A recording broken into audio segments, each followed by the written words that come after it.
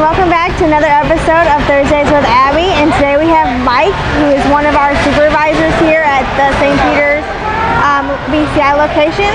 And Mike, can you tell us um, what your job is on a daily basis and what your job consists of?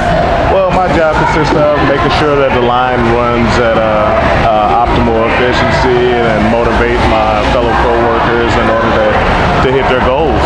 So. And um, what is what? I know right now you're working on the curtain line. Uh, what is normally your job here at BCI?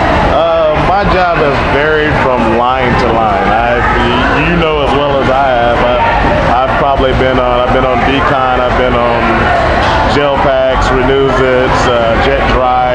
I've been everywhere, and I mean that's kind of like where I want to be. You know, kind of moving around so I can know uh, learn different things. So. And um, how long have you worked at BCI? Uh, it's uh, be about a year almost in October. Oh, Okay. Only been a year? It seems like forever, you know what I'm saying?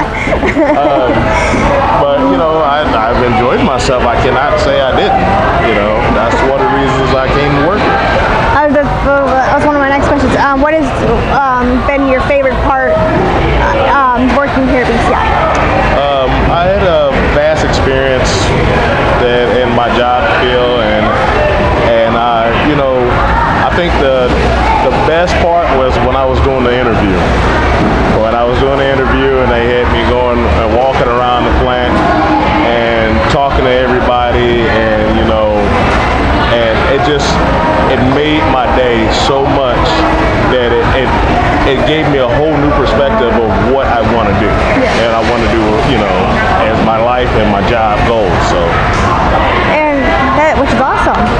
and what do you like to do on your free time when you're not working? well, uh, I have I have two wonderful girls that I mean keep me busy as well, and I, I have an older son, he keeps me busy, but I also have two other businesses also. So, and I mean, I'm I'm, I'm not a person that sit around and not do anything. so um, uh, I like staying busy in it, you know, and and just keep moving because I mean we have to keep living. Right. Hey.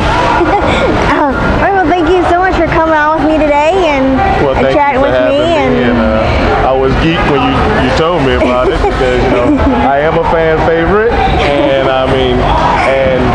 congratulations on the year because I, hey, I really tuned in on that one on your year anniversary, and you know, and I know. Uh, I, I finally got to meet your fiance, yes. and I know you probably think I'm a nut, but you know, but um, I thank you for having me on, Abby.